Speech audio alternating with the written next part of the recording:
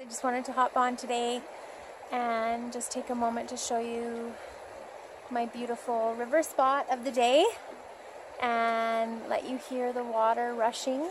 This, this water here is the host of food in our region. It's the wonderful salmon that we eat.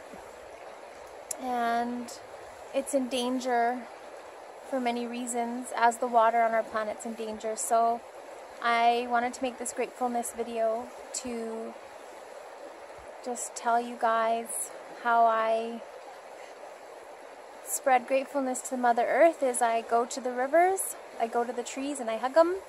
And when I go to the river, I dip my fingers in and I give thanks to the water.